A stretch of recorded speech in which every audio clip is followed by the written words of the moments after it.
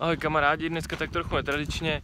Já tohleto video dělám spíš jenom proto, protože jak jsem byl na Šumavě, tak eh, jsem si myslel, že jsem si zničil foťák, protože asi po pár hodinách natáčení snímků a focení jsem vlastně zjistil, že o, pak šel zapnout, ale nešli, nešli načítat obrázky, pak už to nechtělo ani fotit, pak už nechtěl ani naskočit foťák, takže jsem se bál, že foťák je v tahu, protože den předtím jsme šli výšlap na takovou jednu vyhlídku a o, prostě pár metrů před tím vrcholem, před tou vyhlídkou začalo neskutečně pršet a já jsem si prostě neodpustil udělat si ještě uh, nějaký fotky na té vyhlídce a z toho foťáku fakt jako chcela voda.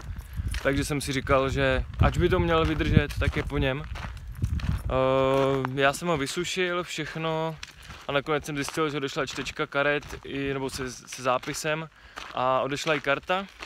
Ale nakonec se mi ještě z karty podařilo vykuchat pár záběrů, takže ty vám tady dám dokupy a můžeme na ně mrknout.